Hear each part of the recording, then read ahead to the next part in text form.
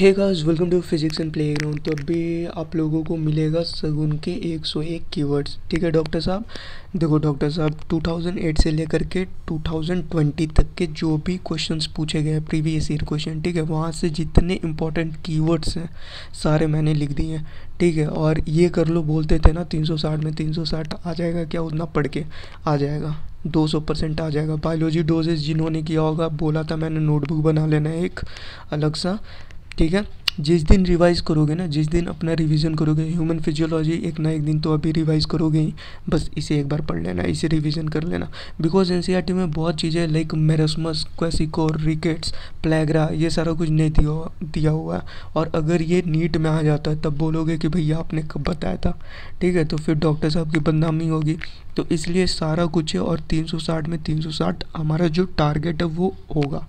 ठीक है, और कुछ नहीं है। लड्डू पेपर आएगा, लड्डू। ये प्रीलिम्स और मेंस 2010 से 2012 में हुआ करता था, ठीक है?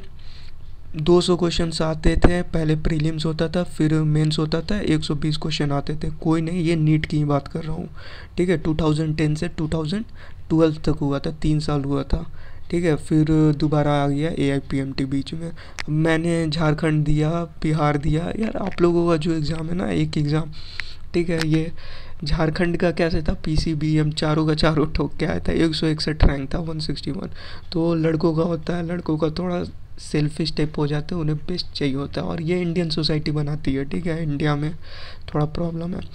तो बाकी धनबाद एंड हजारीबाग, वो दुमका टाइप है कॉलेज वो बिल्कुल सही नहीं है, था उस टाइम अभी का क्या है, मुझे नहीं मालूम। रिम्स में मेरी फ्रेंड का हो गया था रिम्स में। ठीक है?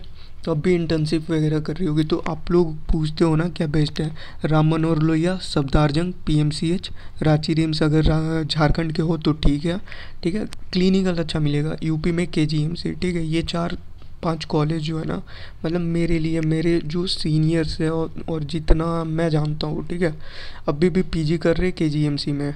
किंग जॉर्ज मेडिकल यूनिवर्सिटी, जो के जी एम यू उसमें पैथोलॉजी से पैथोलॉजी स्पेशलिस्ट। तो बेस्ट है यार, बेस्ट है। थोड़ा खटाता बहुत है ये सब था हर सेकेंड रामन और लोहिया बारह घंटे की ड्यूटी लगा देते हैं, बट ठीक है, बेस्ट है ये, सीखने लायक है। सो वो उसके लिए फोकस करो, ठीक है? उसके लिए एम करो। एक लड़के ने पूछा था, पलामू वगैरह सही रहेगा या नहीं? उन सब के चक्कर में ना जाओ डॉक्टर सिर्फ़ एक डिग्री नहीं होता इंजीनियरिंग नहीं कर रहे हो। चीज़ आना चाहिए, ठीक है? सीखने पे फोकस करना। और इसमें याद रखना बायोलॉजी डोजेज प्लस जितने नोट्स है डिस्क्रिप्शन में चले जाना नोट्स मिल जाएगा आपको, ठीक है? वो नोट्स ज़रूर पढ़ लेना, ठीक है? लास्ट के दो चैप्टर के नोट्स मैंने जानबूझ करके ऐड नहीं किया जॉइंट्स के भी नोट्स नहीं है। वो काफ़ी N C R T more than enough है एन सी आर टी कर लेना प्लस क्या करना प्रैक्टिस टेस्ट एक बार ज़रूर लगा लेना, ठीक है? प्रैक्टिस टेस्ट लगा लेना और जितने डिज़ीज़ है, ये पढ़ लेना। एन सी आर टी में जितने डिज़ीज़ दिए हुए और ऑल ग्लैंड जितने ग्लैंड दिए हुए हैं, सारा कुछ पढ़ लेना। ठीक है, बस इतना ही करना है और एक बार ये देख लेना।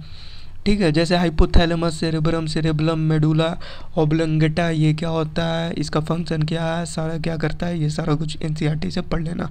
सिंपल गोइटर किसे बोलते हैं माइक्सोडेमा किसे बोलते हैं क्रेटिनिज्म किसे बोलते हैं हाइपोथायरोडिज्म हाइपरथायरोडिज्म पैराथायरोडिज्म हाइपर पैराथायरोडिज्म हाइपोपैराथायरोडिज्म उसमें क्या क्या डिज़ीज़ वगैरह होते हैं, ये सारा कुछ देख लेना। ईसीजी वगैरह, खैर, मैंने बायोलॉजी डोजेज में सारा कुछ करा रखा है।